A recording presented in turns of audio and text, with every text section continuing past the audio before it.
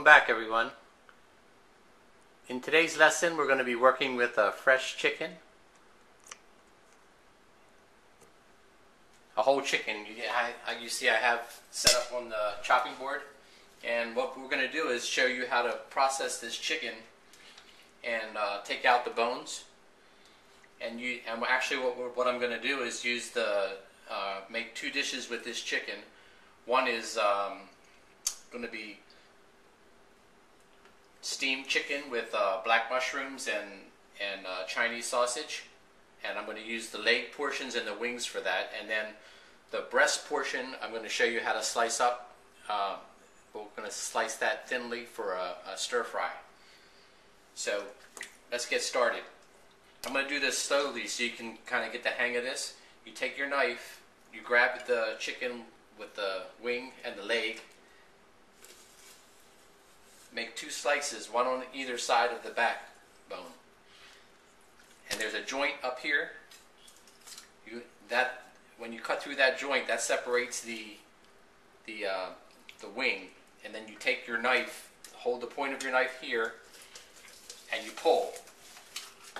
And as you see, that removes all the skin and the breast, and also uh, leaves the wing attached. The only thing that uh, is left is the, what they call the uh, tenderloin, the breast tenderloin. And I'll show you how to remove that later, but you do the same thing on the other side. You flip the chicken over, you hold it here, release that joint, hold your knife, and pull. And your skin comes off like that, so you have the, and now you, you've actually skinned the, uh, the, leg, the leg portion, the leg and the thigh. And then you flip it, you push it out and that pops the bone on, on the uh, thigh and you remove that from the carcass. What we're going to do, we don't waste, the Chinese people do not waste anything. The only thing that we're actually going to dispose of is the chicken skin, but a lot of times we'll use that in, uh, uh, in other dishes too. Sometimes that's fried and, and uh, ground up as a seasoning. You see I'm taking my knife and I'm cutting on either side of the tenderloin. Then I reach in there with my fingers and I remove the tenderloin.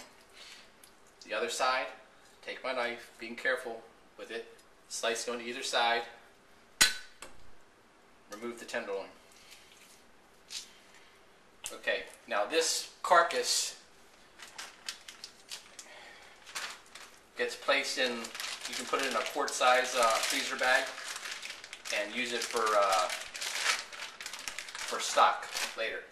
Now to to remove now to finish this process, you take the the leg and thigh, which is together. There's a tendon that runs down here. You take your knife and you follow the, the bone, and you slice it like that along the side of the bone and scrape it with your knife. Disjoint it like that. Then you then you turn it over. You score the around the bottom of the, the drumstick you have to be careful with the knife and watch your other hand, right? Flip it out. Follow that line here with your fingers and you pull the meat away from the, and you, all you have the bone exposed here. Then all you have to do is run your knife around the edge like that. And that takes practically all your, your meat off. And you're left with this bone here. Now I'm going to show you how, to, how when you have experience, how, how you can do it quickly.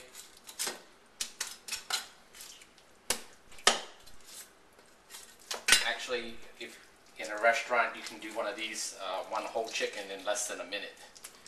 Because if you have a whole case of chickens, you have to have, of course, you have a lot of chickens to do. That's the other bone. Now you can trim this up and take and take off the fat and discard the fat.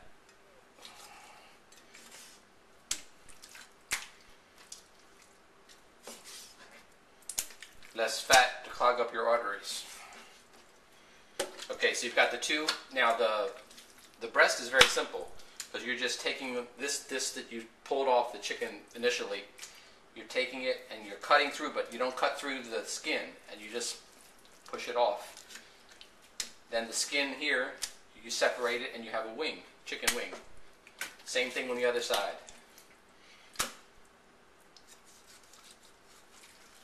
Pull it off. There's a skin we're going to discard this time, just for this time. and then you have uh, the chicken. I'm going to cut this up in portion in bite-sized portions, which we're going to steam with the. Uh,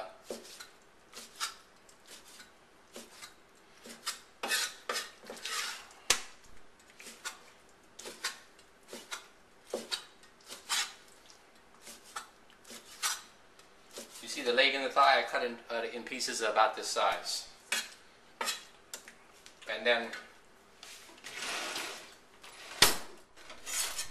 you remember when I told you about the, uh, the different types of knife? This knife has been used a lot for a while in a restaurant that I had before. So this the, a lot about a half an inch of the steel is gone. So this knife is uh, has more like an axe edge, which I can use for chopping. So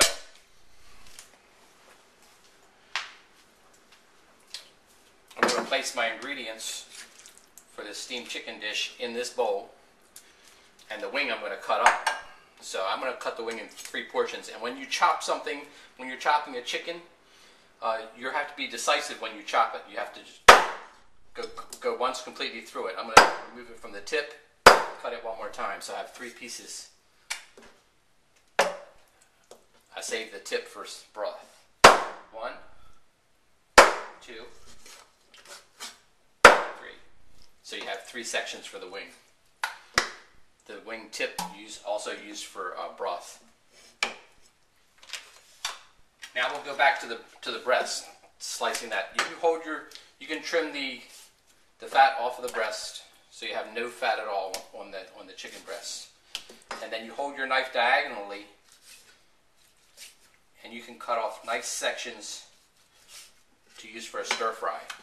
And sometimes you can even hold your hand here, go through the the breast like that to thin it out, and then and then make it'll make thinner slices for you.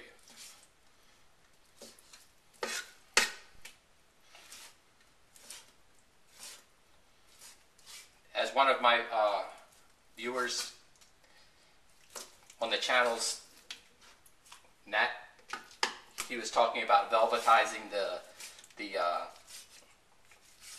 the, the raw meats that you cut up for stir fry, and this is a perfect example of, where you would use it.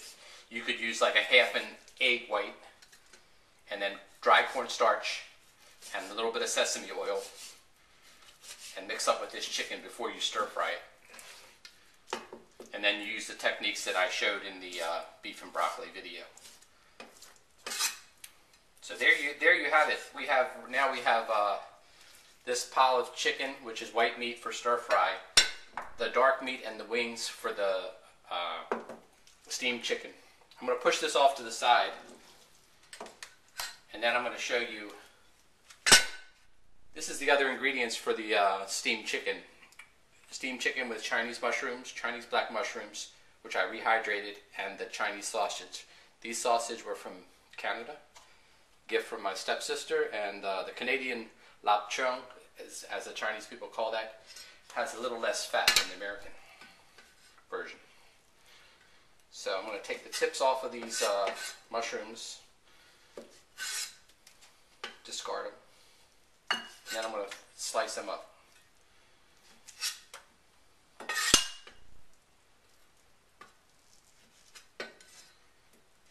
After this, we'll take a short break, and uh, when we come back, I'll show you how to uh, the rest of the ingredients that we're going to season this uh, mixture. We're going to that we're going to steam steam up. Okay, so there's your ingredients for the uh, chicken, mushroom, and sausage. And up here, you'll see I have minced a little bit of uh, garlic and uh, minced ginger, which also goes in in the dish. We'll take a short break and I'll show you how to finish off this dish.